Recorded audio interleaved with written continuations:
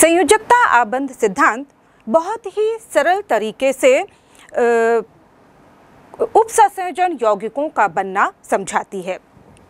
संयोजकता सिद्धांत के अनुसार उपसंयोजक यौगिक बनाने के लिए केंद्रीय धातु परमाणु आवश्यक संख्या में रिक्त ऑर्बिटल उपलब्ध कराता है। और ये रिक्त ऑर्बिटल या इनकी संख्या केंद्रीय धातु परमाणु की कोऑर्डिनेशन नंबर उप संयोजन संख्या के बराबर होती हैं। ये रिक्त ऑर्बिटल जो तैयार होते हैं, वो केंद्रीय धातु परमाणु के परमाणविक ऑर्बिटलों के मध्य हाइब्रिडाइजेशन संकरण के फलस्वरूप उत्पन्न होते हैं। और इस संकरण की क्रिया के लिए केंद्रीय धातु परमाणु अपने n minus one d orbital n s orbital तथा एन पी ऑर्बिटलों का उपयोग कर सकता है। या फिर यह अपने n s orbital n p orbital तथा एन डी ऑर्बिटलों का उपयोग कर सकता है। इस प्रकार ये सभी ऑर्बिटल आपस में संकरण करते हैं। और इस तरह से अपनी ऊर्जाओं का पुनः मिश्रण करके उतनी ही संख्या में नए संकृत ऑर्बिटल बनाते हैं। इन संकृत रिक्त ऑर्बिटलों में ही लिगन्स के द्वारा दान किए गए इलेक्ट्रॉनों को रखा जाता है। संकरण के उपरांत ये सभी hybrid orbitals, coordination number, central metal atom की कोऑर्डिनेशन नंबर के अनुसार ही जो निश्चित जामितियाँ होती हैं, जैसे कि अष्टफल की चतुष्फल की या वर्ग समतलीय जामितियों के रूप में ये दिक विन्यास में स्पेशल अरेंजमेंट प्राप्त कर लेते हैं। और इस प्रकार जो अरेंजमेंट के फलस्वरूप, अब जो लिगन्स होते हैं, उनके दाता परमाणुओं के, जो परमाणविक ऑर्बिटल होते हैं, जो कि अपने अंदर लोन पेयर रखते हैं। उन ऑर्बिटलों के मध्य यहाँ पर अतिव्यापन होता है, ओवरलैपिंग होती है और ओवरलैपिंग के फलस्वरूप एक स्थायी कोवलेंट कोऑर्डिनेट कोवलेंट बॉन्ड का निर्माण होता है। और इस प्रकार से यदि हम देखें कि इस प्रकार की संकरण की क्रिया में यदि हमें केंद्रीय धातु परमाणु की कोऑर्डिनेशन नंबर पता हो तो हम इनके में होने वाले संकरण का पूर्वानुमान लगा सकते हैं। और यदि हमें संकरण का प्रकार पता चल जाए तो हम उस बनने वाले कॉम्प्लेक्स की संरचना या ज्यामिति का पूर्वानुमान कर सकते हैं। जैसे कि हम जानते हैं, यहाँ पर यदि केंद्रीय धातु परमाणु की जो कोऑर्डिनेशन नंबर टू होती है तो उस समय जो हाइब्रिडाइजेशन का प्रकार होता है, वह sp प्रकार का होता है। और यहाँ पर हम देखेंगे कि जो यूज़ ऑर्बिटल होते हैं, वो एस ऑर्बिटल और पी के जो तीन ऑर्बिटल्स होते हैं, उनमें से पीएक्स का उपयोग किया जाता है। और इस तरह से जो इसकी जैमिति बनती है, जो संरचना बनती है, वो होती है लीनियर। इसी तरह से जब कोऑर्डिनेशन नंबर थ्री होता है तो एस पी टू प्रकार का संकरण होता है और इसमें एक एस तथा दो पी यानी कि पी एक्स और पी वाई ऑर्बिटलों का उपयोग किया जाता है। इस प्रकार से जो ज्यामिति तैयार होती है, वह होती है ट्राई ट्राइग्लोनल प्लेनर है ना? इसके फलस्वरूप हम देखें कि coordination number four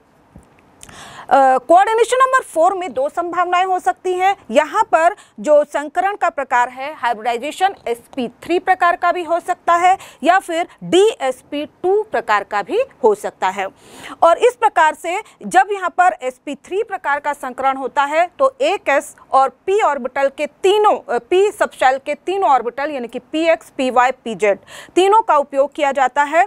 और हम जानते हैं कि इस प्रकार से जो ज्यामिति प्राप्त होती होती है हमें वह होती है चतुष्फल की यहाँ पर हम जानते हैं कि जब चतुष्फल की जामिति होती है उसमें प्रत्येक एंगल जो होता है वो बन ए, एक दूसरे से 109 डिग्री की दूरी पर ये होते हैं।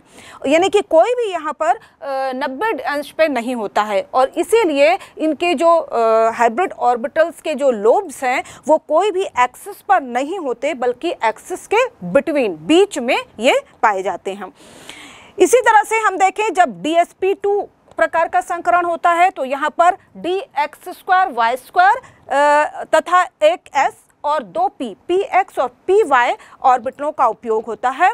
और इस प्रकार से डी एस पी टू प्रकार का जब संकरण होता है तो हमें ज्यामिति मिलती है स्क्वायर प्लेनर इसके बाद जब कोऑर्डिनेशन नंबर फाइव होती है तो यहाँ पर फिर से दो प्रकार की संभावनाएँ हो सकती हैं। यहाँ पर एक जो संकरण होगा, वो होगा sp3d प्रकार का और दूसरा होगा dsp3 प्रकार का। तो यहाँ पर भी हम देखें कि जो sp3d प्रकार का संकरण होता है, उसमें एक s p के तीनों ऑर्बिटल तथा एक डी ऑर्बिटल यानी कि डी एक्स का square y square y square ये उपयोग में लाया जाता है। और यहाँ पर जो ज्यामिति हमें मिलती है वो होती है ट्राइगोनल बाई पिरामिडल और जबकि यहाँ पर डी एस पी थ्री प्रकार का जो संकरण होता है उसमें भी आ, समान ऑर्बिटल्स उपयोग में लाए जाते हैं। लेकिन इसमें जो ज्यामिति हमें मिलती है वह होती है स्क्वायर पिरामिडल, जैसे कि आप संरचना आप में देख रहे हैं। इसके बाद आता है कोऑर्डिनेशन नंबर सिक्स और कोऑर्डिनेशन नंबर सिक्स में हम देखें कि फिर से दो संभावनाएँ हो सकती हैं। यहाँ पर s p three d two संकरण हो सकता है या फिर d two s p three प्रकार का संकरण पाया जाता है।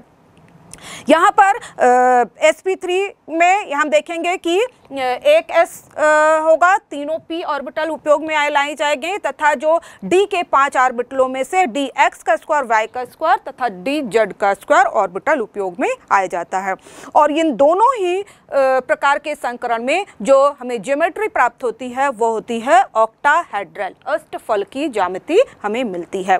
तो इस तरह से हम कोऑर्डिनेशन नंबर पता होने पर हाइब्राइजेशन का प्रकार जान सकते हैं और हाइब्राइजेशन का प्रकार पता हो तो हम बनने वाले कॉम्प्लेक्स की ज्यामिति का पूर्वानुमान कर सकते हैं। इसके बाद हम देखें कि संयोजकता बंध सिद्धांत इसके अलावा यह भी कहता है कि यदि इस प्रकार तैयार जो कॉम्प्लेक्स कंपाउंड है उसमें अनपेयर्ड इलेक्ट्रॉन उपस्थित होंगे। तो जो कॉम्प्लेक्स की प्रकृति ये पैरामैग्नेटिक होगी ये अनुचुंबकीय प्रकृति का होगा। और यदि इसमें अनपेयर्ड इलेक्ट्रॉन उपस्थित नहीं होंगे तो यह प्रतिचुंबकीय यानी कि डायमैग्नेटिक प्रकृति का होता है। और इसके चुंबकीय आघूर्ण का आ, मान भी हम लग, निकाल सकते हैं।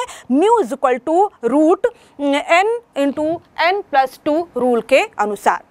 तो इस प्रकार से इनके चुंबकीय आघूर्ण का मापन किया जा सकता है और संयोजकता बंद सिद्धांत के अनुसार यदि हमें बनने वाले कॉम्प्लेक्स कंपाउंड के चुंबकीय व्यवहार का पता हो, यानी कि ये डायमैग्नेटिक होगा या पैरामैग्नेटिक प्रकार का है तो उसके आधार पर हम इनकी ज्यामिति का पूर्वानुमान भी लगा सकते हैं।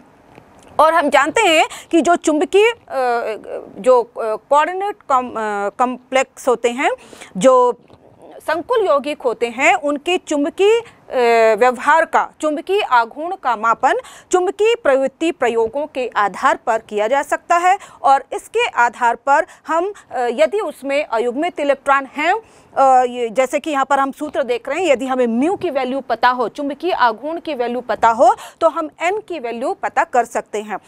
जो एन है, वो उसमें उपस्थित अयुग्मित इलेक्ट्रॉनों की संख्या को दर्शाता है। अयुग्मित इलेक्ट्रॉन नहीं है तो हम ये बता सकते हैं कि जो कंपाउंड होगा उसमें किस प्रकार का संकरण होगा और किस प्रकार की ज्यामिति संरचना इसमें पाई जाएगी। इसे हम उदाहरण भिन्न भिन्न प्रकार के उदाहरण, जिसमें हम अष्टफल की यौगिकों का उदाहरण भी लेंगे तथा चतुष्फल की और स्क्वायर वर्ग समतलीय यौगिकों का भी उदाहरण लेंगे। इसके उदाहरण के द्वारा हम इसको समझते हैं। संयोजकता बंध सिद्धांत के आधार पर हम अष्टफल की यौगिकों का बनना पहले समझते हैं। अष्टफल की यौगिकों को जो कॉम्प्लेक्स कंपाउंड होते हैं, उन्हें हम पुनः दो वर्गों में बांट सकते हैं। पहला होता है ये इनर ऑर्बिटल कॉम्प्लेक्सेस या जिसे हम कहेंगे आंतरिक कक्षक संकुल। इन्हें आंतरिक कक्षक संकुल इसलिए कहा जाता है क्योंकि यहाँ पर जो संकरण होता है, वह D2sp3 प्रकार का संकरण होता है। और यहाँ पर ये जो डी ऑर्बिटल है, वह बाह्यतम कोश से भीतर वाले कोश यानी कि n minus one d orbital उपयोग में लाए जाते हैं। इसलिए इसे हम इनर ऑर्बिटल कॉम्प्लेक्स कहते हैं। साथ ही, चूँकि यहाँ पर आंतरिक वाले डी ऑर्बिटल उपयोग में लाए जाते हैं और यहाँ पर सभी इलेक्ट्रॉन्स युग्मित हो जाते हैं। यानी कि इनमें अनपेयर्ड इलेक्ट्रॉनों की संख्या कम होती है या नहीं होती है, इसलिए इन्हें लो स्पिन कोऑर्डिनेशन कंपाउंड भी कहा जाता है। इसी तरह से जो दूसरा प्रकार है, वह है आउटर ऑर्बिटल कॉम्प्लेक्सेस यानी कि बाह्य कक्षक संकुल यौगिक। इस प्रकार का जो यौगिक होगा, उसमें sp3d2 प्रकार का संकरण पाया जाता है। यहाँ पर इन्हें बाह्य कक्षक इसलिए कहते हैं क्योंकि यहाँ पर जो d ऑर्बिटल उपयोग में लाया जा रहा है, वह बाह्यतम कोश का ही होता है। या हम ये कह सकते हैं कि यहाँ पर जो s ऑर्बिटल होता है, p या d, तीनों ऑर्बिटल बाह्यतम कोश के और एक ही सबशेल के होते हैं। इस तरह से साथ ही साथ यहाँ पर अयुग्मित इलेक्ट्रॉनों की संख्या पाई जाती है, अधिक होती है। इसलिए इन्हें हम हाई स्पिन कोऑर्डिनेशन कंपाउंड भी कहते हैं। तो आइए हम इन दोनों प्रकार के कॉम्प्लेक्स कंपाउंड को एक उदाहरण के द्वारा समझते हैं। यहाँ पर पहले हम उदाहरण ले रहे हैं hexammine cobalt three plus ion जैसा कि आप सूत्र से समझ सकते हैं कि यहाँ पर चूँकि जो एमीन है, वो उदासीन लिगन है, और इसलिए कॉम्प्लेक्स के ऊपर जो थ्री प्लस चार्ज दिख रहा है, वह ही यहाँ पर कोबाल्ट की ऑक्सीडेशन नंबर होगी। यानी कि यहाँ पर cobalt three plus oxidation state पर है। इसके अलावा हम देखें कि यहाँ पर जो इसका सबसे पहले इसका हम इलेक्ट्रॉनिक कॉन्फ़िगरेशन लिखेंगे। तो कोबाल्ट जिसका एटॉमिक नंबर होता है 27 और इसका जब हम इलेक्ट्रॉनिक कॉन्फ़िगरेशन लिखेंगे तो ये हो जाएगा 1s2 2s2 2p6 3s2 3p6 3d7 4s2 अब यहाँ पर चूँकि ये cobalt three plus oxidation state पर है तो यहाँ पर इसमें से तीन इलेक्ट्रॉन बाहर निकल जाएँगे। बाहर निकलने वाले दो इलेक्ट्रॉन फोर के होंगे, क्योंकि ये सबसे बाहतम कोश है और एक इलेक्ट्रॉन यहाँ पर थ्री डी में से बाहर निकलेगा। और इस तरह से अब जो शेष इलेक्ट्रॉन, यानी कि कोबाल्ट थ्री प्लस का जो इलेक्ट्रॉन कॉन्फ़िगरेशन हो जाएगा, इसमें केवल 24 इलेक्ट्रॉन बचेंगे। और इसमें जो इलेक्ट्रॉनिक कॉन्फ़िगरेशन इसका हो जाएगा, one s two two s two two p six, three s two, three p six, three d six.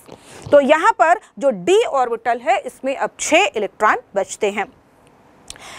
अब यहाँ पर जब हम इस कंपाउंड यानी कि hexammine cobalt three plus ion इस कॉम्प्लेक्स कंपाउंड की चुंबकीय गुण का मापन करते हैं, चुंबकीय आघूर्ण का मापन करते हैं तो प्रयोग प्रायोगिक आधार पर यह प्रति चुंबकीय प्रकृति का पाया जाता है। यानी कि प्रति चुंबकीय प्रकृति यह दर्शाती है कि इसमें अयुग्मित इलेक्ट्रॉन अनुपस्थित होते हैं। तो यहाँ पर जो लिगंड, एमीन है, उसके प्रभाव में आकर जो डी ऑर्बिटल के छः इलेक्ट्रॉन हैं उसमें से ए, दो इलेक्ट्रॉन पेयर हैं जबकि आप देख रहे हैं कि चार इलेक्ट्रॉन ये एक एक आ, करके अलग अलग उपस्थित हैं अनपेयर्ड हैं। तो इसमें से बाकी के जो चार इलेक्ट्रॉन हैं वो भी युग्मित हो जाते हैं। और इस तरह से हमारे पास आंतरिक कक्षक का यानी कि थ्री के दो डी ऑर्बिटल रिक्त हो जाते हैं। इसके अलावा यहाँ पर 4s ऑर्बिटल है तथा 4p के तीन ऑर्बिटल। और इस तरह से ये छः ऑर्बिटल आपस में सम्मिश्रित होकर फिर से अपनी ऊर्जा का पुनर्वितरण करके छः नए हाइब्रिड ऑर्बिटल बनाते हैं, जिन्हें हम D2sp3 हाइब्रिड ऑर्बिटल कहते हैं। ये हाइब्रिड ऑर्बिटल अब तैयार है लिगेंड्स के द्वारा जो यहाँ पर छह एमीन लिगेंड्स हैं, उनके द्वारा प्राप्त होने वाले 12 इलेक्ट्रॉनों को अपने में संयोजित करके रखने के लिए। तो इसके पहले ये जो D2sp3 हाइब्रिड ऑर्बिटल हैं, इसमें हम जानते हैं कि इसकी ज्यामिति अष्टफलकी होती है तो ये सभी ऑर्बिटल अष्टफलकी ज्यामिति में अरेंज हो जाते हैं। और इसके बाद ये जो एमीन लिगन है, उसके डोनर एटम यानी कि नाइट्रोजन के पास, जिसके पास लोन पेयर इलेक्ट्रॉन उपस्थित होता है, उसके ऑर्बिटल के साथ ये ओवरलैपिंग करते हैं और छः यहाँ पर सिग्मा कोऑर्डिनेट कोवलेंट बॉन्ड का निर्माण होता है। तो इस तरह से यदि हम पूरे कंपाउंड के गुणों पर एक नज़र डालें तो हम देखेंगे कि इसमें जो hexammine cobalt three plus ion है, उसमें hybridisation d two s p three प्रकार का हो रहा है। यहाँ पर इसकी जो ज्योमेट्री है, वो ऑक्टाहेड्रल है। यहाँ पर मैग्नेटिक नेचर यदि हम देखें तो यहाँ पर एक भी अयुग्मित इलेक्ट्रॉन नहीं है, इसलिए यह डायमैग्नेटिक प्रकृति का होगा।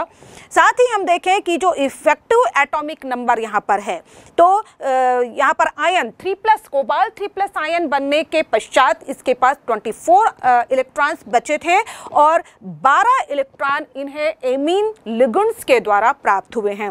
तो 24 plus twelve is equal to thirty six यानी कि ये इनका जो अब इलेक्ट्रॉनिक कॉन्फ़िगरेशन हो गया है, वह एक अक्रिय गैस के कॉन्फ़िगरेशन के इक्वल हो गया है थर्टी क्रिप्टॉन 36 के बराबर हो गया है और हम जानते हैं कि जिनकी में इस प्रकार का कॉन्फ़िगरेशन इलेक्ट्रॉनिक विन्यास होगा या इलेक्ट्रॉनिक संरचना प्राप्त होगी, वह सबसे स्थायी कॉम्प्लेक्स होता है। तो इसका मतलब कि जो hexammine cobalt three plus ion है, एक स्थायी कॉम्प्लेक्स होगा। इसी तरह से अब हम दूसरा उदाहरण लेते हैं। दूसरा उदाहरण हम लेंगे आउटर ऑर्बिटल कॉम्प्लेक्स का। इसके लिए हम उदाहरण ले सकते हैं hexafluorido cobaltate three minus ion यहाँ पर हम देखें कि ये जो कंपाउंड है, उसमें इसकी भी कोऑर्डिनेशन नंबर आप देख रहे हैं कि यहाँ पर छः होगी। साथ ही साथ हम देख रहे हैं कि कोबाल्ट इसकी ऑक्सीडेशन नंबर क्योंकि यहाँ पर जो साइनाइड है, वो नेगेटिवली चार्ज है और यहाँ पर छः साइनाइड आयन है, यानी कि छः नेगेटिव चार्ज यहाँ पर थे और जो हम कॉम्प्लेक्स देख रहे हैं, उस पर तीन नेगेटिव चार्ज हैं। यानी कि जो कॉम्प्लेक्स जो लिगन्स के तीन नेगेटिव चार्ज को कोबाल्ट के तीन पॉजिटिव चार्ज के द्वारा उदासीन किया गया है। यानी कि यहाँ पर कोबाल्ट की ऑक्सीडेशन नंबर प्लस थ्री होगी। और इस, इसी तरह से फिर से हम कोबाल्ट का इलेक्ट्रॉनिक कॉन्फ़िगरेशन लिखें तो ये यहाँ पर को प्राप्त हो जाएगा जिसमें कि थ्री डी केवल हम अंतिम ऑर्बिटल को लेते हैं जिसमें हमें प्राप्त होता है three d seven four s two लेकिन जब ये थ्री प्लस आयन बनाएगा तो हमारे पास जो 4s ऑर्बिटल हैं, उसमें से दो इलेक्ट्रॉन और 3d के एक इलेक्ट्रॉन बाहर निकल जाएँगे। और इस प्रकार से जो कोबाल्ट 3 प्लस आयन होगा, जिसके पास अब केवल 24 इलेक्ट्रॉन्स बचे हुए हैं उनका इलेक्ट्रॉनिक विन्यास हो जाएगा 3d6 अब यहाँ पर हम देखें कि जो 3d6 है, जिसमें कि ऑर्बिटल में छः इलेक्ट्रॉन हैं और जब इसका इस कॉम्प्लेक्स कंपाउंड का हेक्सा फ्लोरिडो कोबाल्टेट आयन इस कॉम्प्लेक्स कंपाउंड के जब चुंबकीय गुण का आ, मापन किया गया तो ये प्रायोगिक आधार पर ज्ञात होता है कि ये कंपाउंड अनुचुंबकीय होता है पैरामैग्नेटिक नेचर का होता है। और पैरामैग्नेटिक नेचर का है जो दर्शाता है कि इसमें अनपेयर्ड इलेक्ट्रॉन उपस्थित होंगे। तो इस तरह से, और चूँकि यहाँ पर जो लिगंड है, वह फ्लोरीन है, और इसकी वजह से यहाँ पर जो इलेक्ट्रॉनों की पेयरिंग नहीं होती है, और इसलिए यहाँ पर जो हाइब्रिडाइजेशन के लिए जो एस पी के साथ जो डी कक्षक उपयोग में लाया जाता है, वह भी बाह्यतम कोश का होता है। यानी कि यहाँ पर फोर एस के दो कक्षक फोर पी के तीन कक्षक तथा फोर डी के दो कक्षक उपयोग में आते हैं। और ये सभी कक्षक आपस में मिलकर अपनी ऊर्जा का पुनर्वितरण करके छः नए हाइब्रिड ऑर्बिटल का निर्माण करते हैं। और इस प्रकार से जो तैयार हाइब्रिड ऑर्बिटल हैं, उन्हें हम s p three d two orbital कहते हैं। पुनः ये सभी sp3d2 हाइब्रिड ऑर्बिटल अपनी अष्टफल की जामती के रूप में ये स्पेशल अरेंजमेंट के रूप में व्यवस्थित हो जाएँगे। और उसके बाद ये जो फ्लोराइड यहाँ पर लिगंड है, उसके द्वारा प्राप्त इलेक्ट्रॉन जोड़ों को प्राप्त करेंगे, जिसमें ये फ्लोरीन के ऑर्बिटल के साथ ओवरलैपिंग करेंगे और छः सिग्मा कोवलेंट ऑर्बिटल का निर्माण करेंगे। इसी तरह से इनर ऑर्बिटल कॉम्प्लेक्सेस के और भी उदाहरण हम देख सकते हैं। जैसे यहाँ पर hexammine manganate three minus ion, यह पैरामैग्नेटिक नेचर का होता है और इसमें दो अनपेयर्ड इलेक्ट्रॉन पाए जाते हैं। इसके अलावा hexacyanido ferrate three minus ion या यह भी पैरामैग्नेटिक नेचर का होता है और इसमें एक अनपेयर्ड इलेक्ट्रॉन पाया जाता है। इसके अलावा tetraoxalato cobaltate three minus ion यह डायमैग्नेटिक होता है और इसमें एक भी अनप्योर इलेक्ट्रॉन नहीं पाए जाते हैं। इसके अलावा hexacyanido ferrate four minus ion यह भी यहाँ पर जो आयरन है, वहाँ पर उसकी ऑक्सीडेशन नंबर प्लस टू होती है। और इस तरह से यहाँ पर हम देखें कि यह भी डायमैग्नेटिक नेचर का होता है और इसमें क्योंकि एक भी अनपेयर्ड इलेक्ट्रॉन नहीं पाया जाता है। ये सभी कॉम्प्लेक्सेस इनर ऑर्बिटल कॉम्प्लेक्सेस आंतरिक कक्षक संकुल के उदाहरण हैं।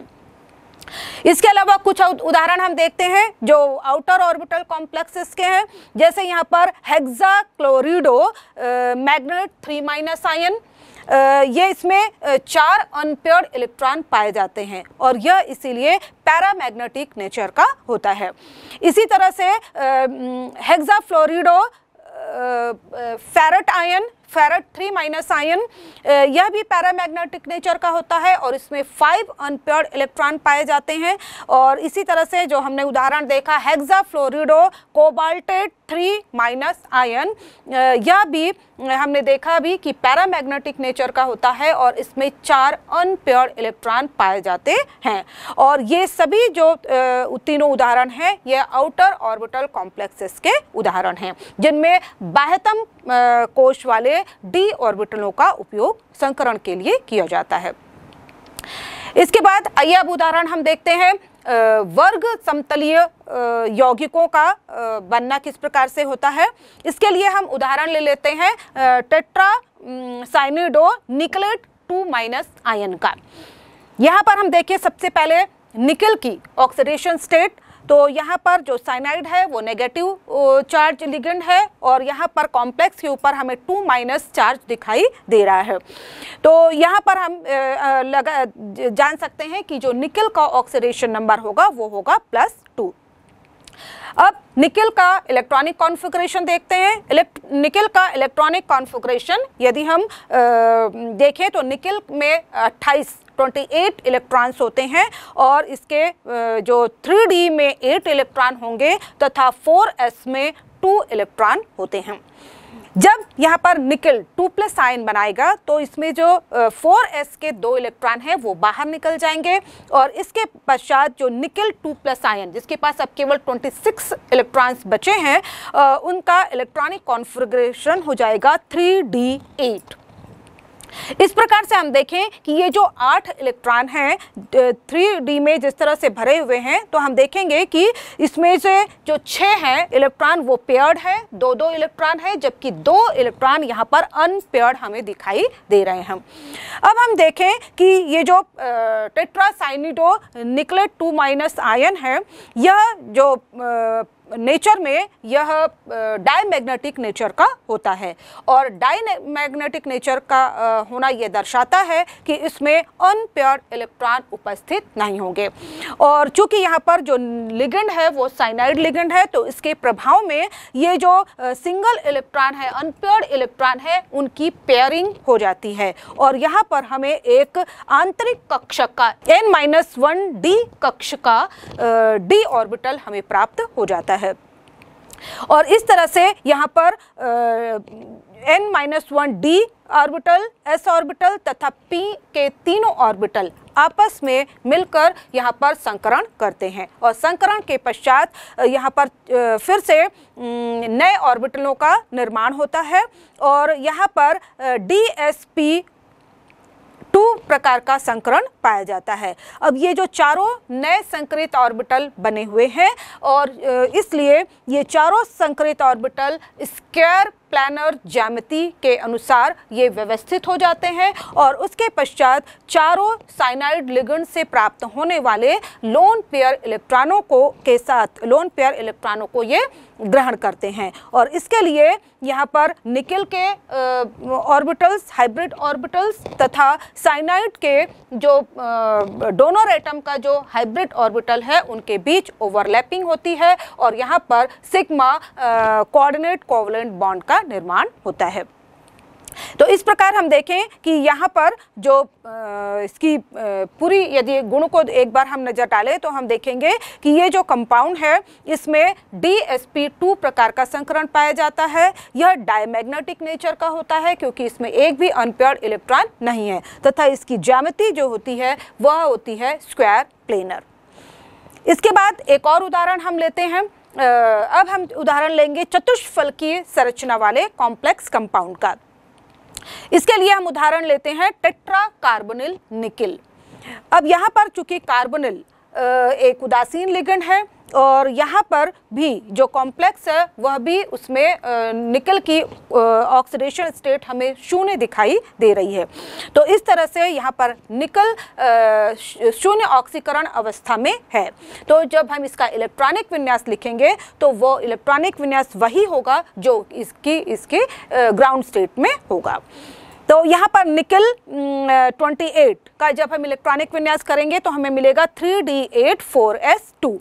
अब यहाँ पर जो थ्री में इलेक्ट्रॉन हम देख रहे हैं तो छः इलेक्ट्रॉन पेयर्स के रूप में मौजूद हैं, जबकि दो इलेक्ट्रॉन अनपेयर्ड इलेक्ट्रॉन के रूप में उपस्थित हैं। इसके अलावा यहाँ पर हम देखिए फोर एस में दो इलेक्ट्रॉन हैं। तो अब यहाँ पर चूँकि ये जो कंपाउंड होता है टेट्रा कार्बोनिल निकल यह भी डायमैग्नेटिक नेचर का है और डायमैग्नेटिक नेचर का होने की वजह से इसमें किस एक भी अनपेयर्ड इलेक्ट्रॉन नहीं होंगे।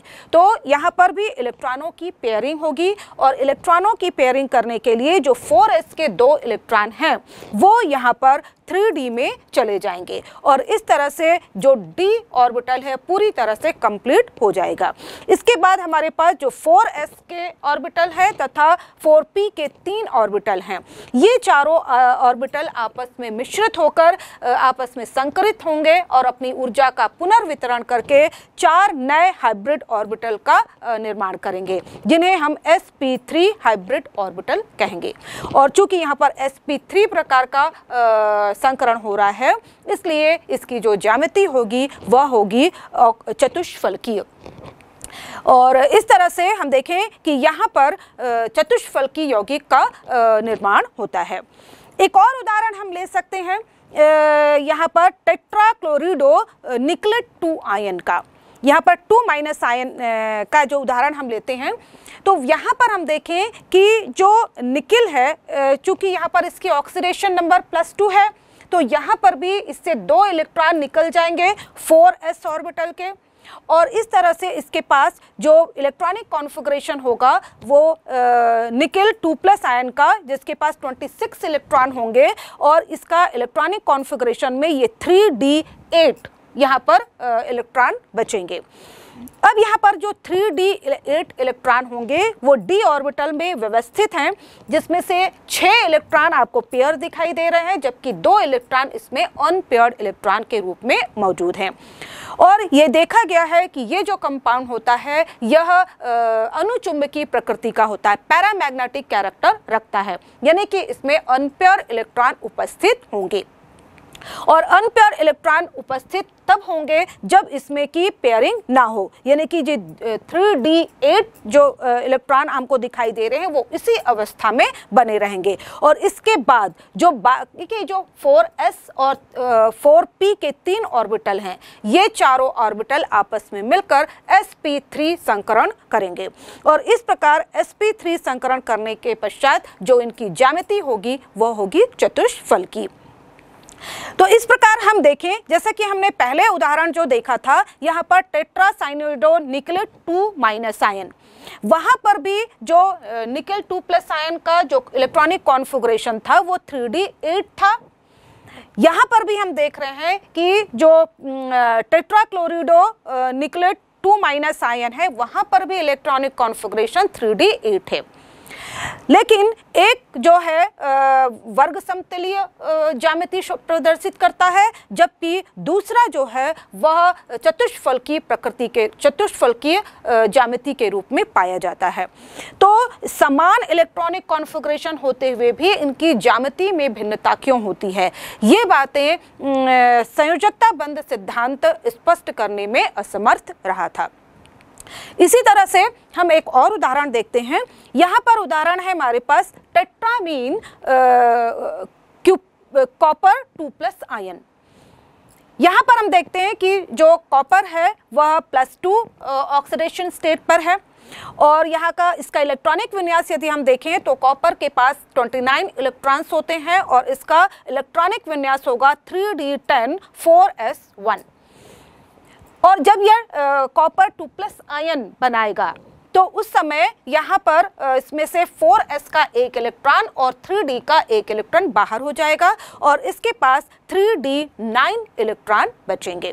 और यहाँ पर ये जो 3d 9 आप देख रहे हैं उसमें से जो 8 इलेक्ट्रॉन है वो पेयर्ड है और एक इलेक्ट्रॉन अनपेयर्ड है। और इस तरह से यहाँ पर हम देखें कि इसमें जो आ,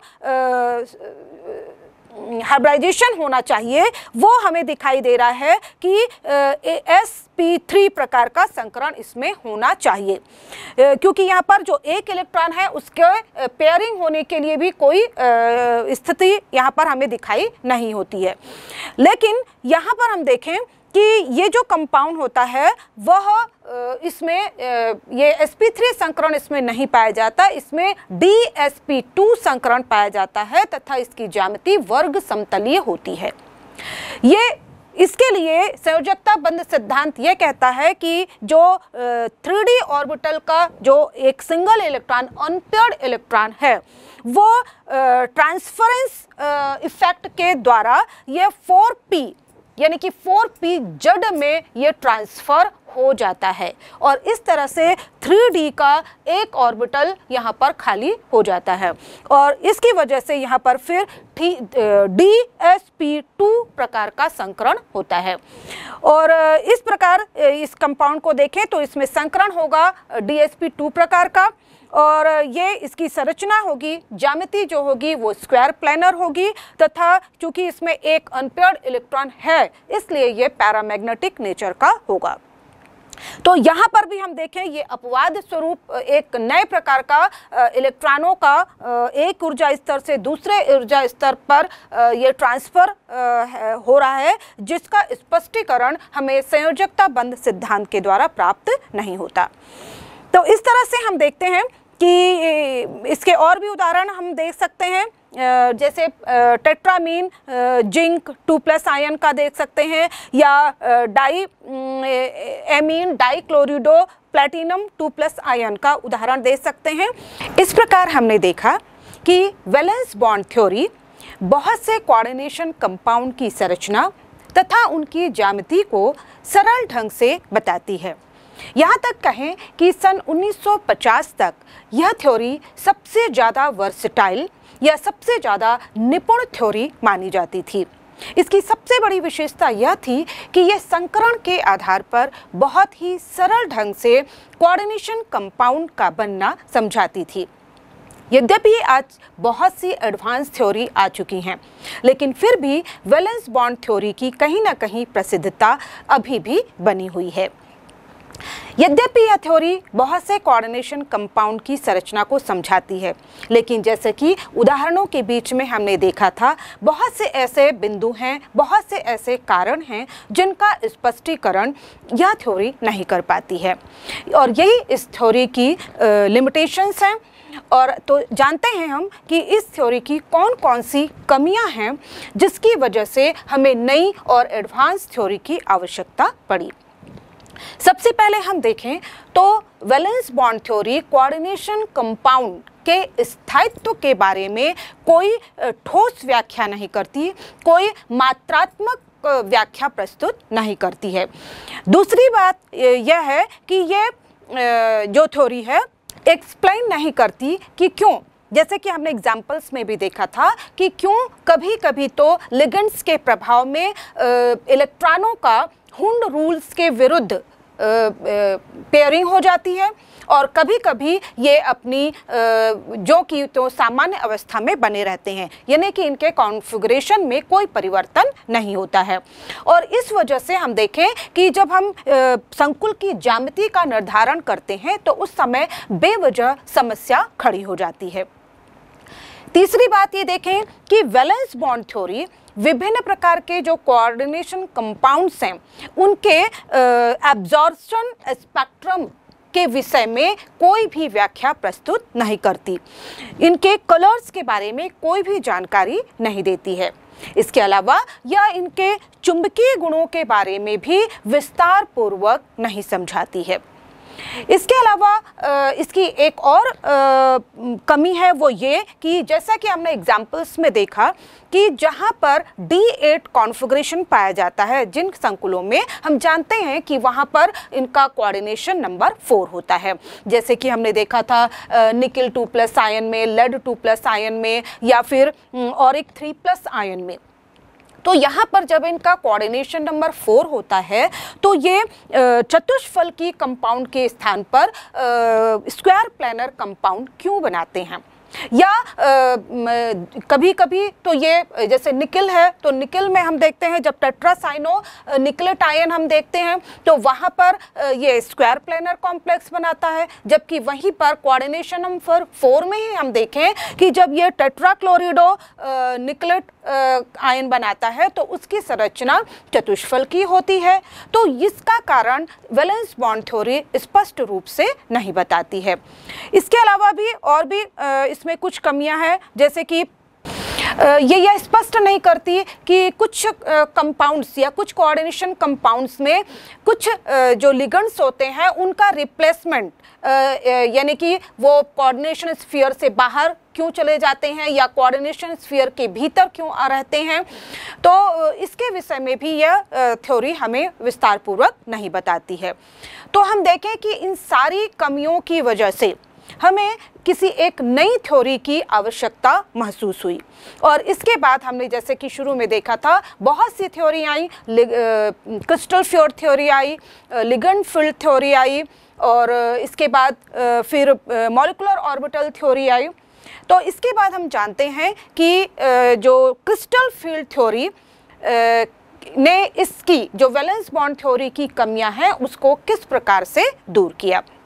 तो अगला जो सिद्धांत या थ्योरी हम पढ़ेंगे, वो है क्रिस्टल फ़ील्ड थ्योरी जिसे हम CFT के नाम से भी जानते हैं। यहाँ पर हम बता दें कि जो क्रिस्टल फ़ील्ड शब्द है, उसका अर्थ होता है इलेक्ट्रॉनों का क्लाउड इलेक्ट्रॉन क्लाउड और ये जो सीएफटी है, यानी कि क्रिस्टल फ्यूड थ्योरी पूरी तरह से स्थिर वैद्युत मॉडल है, यानी कि इलेक्ट्रोस्टैटिक मॉडल है।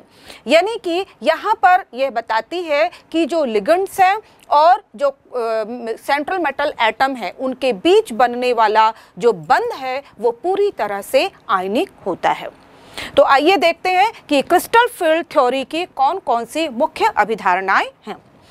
सबसे पहले तो देखें कि ये थ्योरी केंद्रीय धातु परमाणु तथा लिगेंड्स के जो मध्य आबंध होते हैं, वो पूरी तरह से आयनिक होते हैं और ये बंध केंद्रीय धातु परमाणु तथा या आयन तथा लिगेंड्स के मध्य स्थिर वैद्युत अन्योन क्रियाओं या इलेक्ट्रोस्टैटिक इंटरैक्शंस के फलस्वरूप ये उत्पन्न होते हैं। दूसरी बात क्रिस्टल फ़ील्ड थ्योरी लिगन्स तथा केंद्रीय धातु परमाणु दोनों को ही बिंदु आवेश या पॉइंट चार्जेस मानती है। जिसमें कि जो केंद्रीय धातु परमाणु है, वह पॉजिटिव होता है, यानी कि पॉजिटिव पॉइंट चार्ज होता है, और जो लिगेंड है, वह नेगेटिव पॉइंट चार्ज होता है। और हम जानते हैं कि कई बार जो लिगेंड्स होते हैं, वो उदासीन होते हैं। तो उसमें यह माना जाता है कि जो इन्हें जो उदासीन लिगेंड होते हैं, उन्हें पॉइंट डाइपोल माना जाता है। और यह माना जाता है कि ये जो डाइपोल होते हैं, जैसे कि हम जल का अणु ले सकते हैं या अमोनिया का अणु ले सकते हैं। तो जैसे जल के अणु में चूँकि ऑक्सीजन पर स्लाइट नेगेटिव चार्ज होता है और हाइड्रोजन पर कुछ पॉजिटिव चार्ज होता है। साथ ही साथ ऑक्सीजन पर ही जो लोन पेयर इलेक्ट्रॉन होते हैं और वह केंद्रीय धातु परमाणु को डोनेट करता है। तो यहाँ पर जो उदासीन लिगन होते हैं, वह अपने नेगेटिव भाग की तरफ़ से केंद्रीय धातु परमाणु की तरफ़ अप्रोच करते हैं। तीसरी बात जो क्रिस्टल फ़ील्ड थ्योरी कहती है कि जब लिगन तथा केंद्रीय धातु परमाणुओं के बीच अट्रैक्शन होता है अट्रैक्शन अट्रैक्टिव फोर्सेस होते हैं तो उस समय जो सिस्टम होता है, उसकी ऊर्जा कम होती है। लेकिन जब केंद्रीय धातु परमाणु और लिगन्स के बीच रिपल्सन होता है, रिपल्सिव फोर्सेस काम करते हैं तो उस समय यहाँ पर जो उसके ऑर्बिटल्स होते हैं, उनकी ऊर्जा में वृद्धि होती है। किसी भी जब हम देखें कि जो केंद्रीय धातु परमाणु होता है, वो जब आइसोलेटेड होता है, जब वह कॉम्प्लेक्स में नहीं होता है, उस समय उसके सभी डी ऑर्बिटल्स की ऊर्जा समान होती है। जो इसके जो डी ऑर्बिटल्स हैं, हम जानते हैं कि डी में फाइव डी ऑर्बिटल्स होते हैं और इन डी ऑर्बिटल्स को, जैसे कि हमने पहले जाना है कि इन्हें हम दो सेट में डिवाइड करते हैं। एक तो होते हैं नॉन ऑक्सियल सेट और दूसरे होते हैं axial set. Non axial set हम उनको कहते हैं, जिनमें कि जो डी ऑर्बिटल के जो लोब्स होते हैं वो अक्ष, यानी कि जो तीन अक्ष होते हैं, x axis, y axis and zed axis तो इनमें से किन्हीं दो एक्सिस के मध्य पर उपस्थित होते हैं। और ये तीन एक्सिस होते हैं। यहाँ पर हम देखें तीन ऑर्बिटल्स हैं।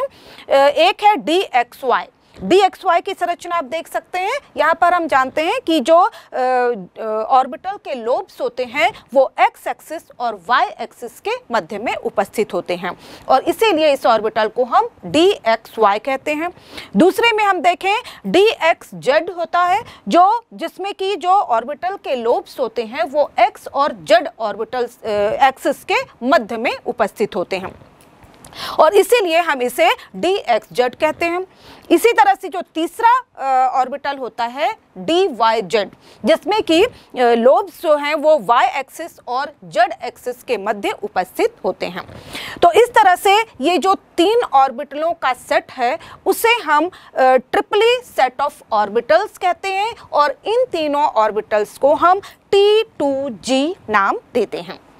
इसी तरह से हम जानते हैं कि जो डी ऑर्बिटल के दो ऑर्बिटल और होते हैं, उनमें से जो उनके लोब एक्स और वाई एक्सिस के ऊपर उपस्थित होते हैं, बिल्कुल, और जैसे कि आप देख रहे हैं यहाँ पर, और चूँकि इनका एक्स और वाई के ऊपर उपस्थित एक्सिस पर उपस्थित होते हैं और इसे हम d x square y square नाम देते हैं। इसी तरह से हम देखें कि जिसमें जो डी ऑर्बिटल के दोनों लोब हैं जड एक्सिस पर होते हैं। उन्हें हम जड डी जड स्क्वायर नाम देते हैं। यहाँ पर हम देखें कि जो डी जड स्क्वायर होते हैं, उसका एक लोब तो जड एक्सिस के ऊपर होता है, लेकिन जो दूसरा लोब होता है, वह रिंग के रूप में उपस्थित होता है और ये एक्स वाई प्लेन पर उपस्थित होता है। और ये एक्स वाई प्लेन में जो, की जो इलेक्ट्रॉन डेंसिटी होती है, उसका लगभग एक बटे तीन पार्ट ये कंटेन करता है। तो इस तरह से हम देखें कि जो डी ऑर्बिटल होते हैं, वो जो पाँचों डी ऑर्बिटल हैं, उनके हम दो भागों में डिवाइड कर देते हैं। एक होता है टी टू जी सेट और दूसरा होता है ई जी सेट इस प्रकार, जब धातु परमाणु या आयन आइसोलेट या विलगित अवस्था में होता है, तब इन पाँचों डी ऑर्बिटल्स की ऊर्जा एक समान रहती है, अर्थात ये डीजनरेट अवस्था में होते हैं। और ये ऑर्बिटलों की डीजनरेसी तब तक बनी रहती है जब तक कि केंद्रीय धातु परमाणु के चारों ओर, इलेक्ट्रॉन अभ्र का एक गोलीय सममित क्षेत्र होता है।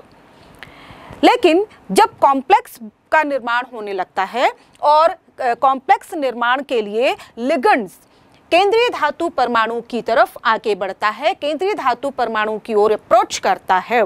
तो उस समय उसके नेगेटिव चार्ज की वजह से लिगन के या फिर जो उदासीन लिगन होते हैं, उनके ऋणावेशित, ऋणात्मक भाग की वजह से जिसमें कि लोन पेयर ऑफ़ इलेक्ट्रॉन पाए जाते हैं तो लिगन्स के इन लोन पेयर इलेक्ट्रॉन तथा केंद्रीय धातु परमाणु के वैलेंस इलेक्ट्रॉन के मध्य रिपल्सन होने लगता है, क्योंकि हम जानते हैं समान समान आवेशों के बीच रिपल्सन होता है। और रिपल्सन होने की वजह से यहाँ पर अब जो ये इसकी जो डीजनरेसी है समभ्रंश जो अवस्था होती है, वह यहाँ पर समाप्त हो जाती है। और यहाँ पर हम जो डी जिसके फलस्वरूप डी ऑर्बिटलों की स्प्लिटिंग हो जाती है और यहाँ पर हम देखें कि जब लिगन्स केंद्रीय धातु परमाणु से दूर पर होता है तो उस समय पहले हम देखें कि ये जो आद्य अवस्था होगी, जिसमें कि पाँचों डी ऑर्बिटल की ऊर्जा एक समान है, ये डिजनरेट पोजीशन है, स्थिति है। इसके बाद हम देखें कि जब लिगन केंद्रीय धातु परमाणु की तरफ़ अप्रोच करता है तो उस समय जब लिगन दूर होता है तो उस समय ये जब प्रतिकर्षण होता है, उसकी वजह से सभी जो जितने भी ऑर्बिटल्स होते हैं, उनकी ऊर्जा समान रूप से बढ़ती है। और इस ऊर्जा को हम औसत ऊर्जा अवस्था कहते हैं। और इसके बाद जब जो लिगेंड्स है, जब वो बहुत पास आ जाता है और या तो वो एक्सिस के दिशा में एक्सिस के तरफ़ निर्दिष्ट हो जाता है और उस तरह से वो वहाँ पर अप्रोच करता है या फिर एक्सिस के बिटवीन अप्रोच करता है। जिस भी प्रकार से वो लिगेंड्स केंद्रीय धातु परमाणु की तरफ़ आता है और उस तरह से जो प्रतिकर्षण होता है, उसके फलस्वरूप हमें ऑर्बिटलों का दो सेट या ऊर्जाओं के दो सेट प्राप्त हो जाते हैं। इसमें हम देखते हैं कि एक स्थिति में जो हमने देखा था कि जो ट्रिपली सेट ऑफ़ ऑर्बिटल्स होते हैं टी टू जी उनकी ऊर्जा बढ़ जाती है, जबकि ई जी की ऊर्जा कम हो जाती है। ये तब होगा जब लिगन एक्सिस के मध्य स्थिति से पर निर्दिष्ट होगा और उसके मध्य स्थिति से वो लिगन केंद्रीय धातु परमाणु की तरफ़ अप्रोच करेगा। दूसरी ओर, यदि ये एक्सिस के थ्रू अप्रोच करता है तो जो एक्सिस के ऊपर पाए जाने वाले जो ऑर्बिटल्स होते हैं, जैसे कि d x square y square और डी जेड स्क्वायर उनकी ऊर्जा बढ़ जाती है। यानी कि इस स्थिति में ईजी जो सेट ऑफ़ ऑर्बिटल्स हैं, उनकी ऊर्जा बढ़ जाएगी, जबकि t two g set of orbitals की ऊर्जा कम हो जाती है। तो इस प्रकार से हम देखें कि जो डी ऑर्बिटलों की स्प्लिटिंग होती है, वह इस बात पर निर्भर करती है कि क्रिस्टल क्षेत्र की प्रकृति क्या है। और इसके आधार पर आ, हम देखेंगे कि जो भिन्न भिन्न प्रकार के आ, संकुल यौगिक होते हैं अष्टफल की संकुल चतुष्फल की संकुल या स्क्वायर प्लेनर संकुल उनमें जो स्प्लिटिंग होती है वह अलग अलग प्रकार से होती है। तो इस प्रकार सबसे पहले हम देखते हैं कि जो अष्टफल की संकुल होते हैं अष्टफल की कोऑर्डिनेशन कंपाउंड्स होते हैं उनमें क्रिस्टल फ़ील्ड स्प्लिटिंग किस प्रकार से होती है?